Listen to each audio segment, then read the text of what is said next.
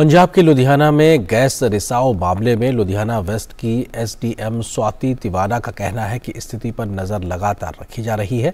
उनका कहा कि अब वो हर दो घंटे में गैस के स्तर की निगरानी कर रही हैं। पंजाब पॉल्यूशन कंट्रोल बोर्ड की ओर से एक तकनीकी टीम बनाई गई है, जो यहाँ पर लोगों के सभी कचरे के निस्तारण की भी जाँच कर रही है।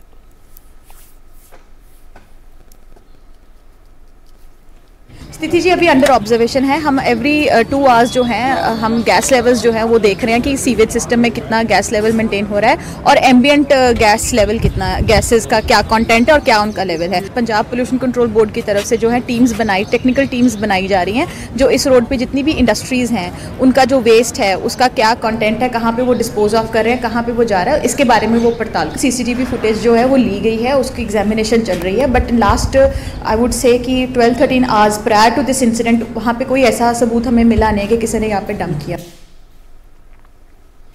प्रधानमंत्री कार्यालय ने लुधियाना के हादसे पर ट्वीट करते हुए कहा है कि लुधियाना में गैस रिसाव के कारण हुई त्रासदी पर दुख व्यक्त करते हुए प्रधानमंत्री नरेंद्र मोदी ने अनुग्रह राशि देने की घोषणा की है, जिसमें प्रत्येक मृतक के परिजनों के लिए प्रधानमंत्री राष्ट्रीय राहत कोष से दो लाख रुपए और घायलों को पचास हज़ार रुपए दिए जाने की घोषणा की गई है।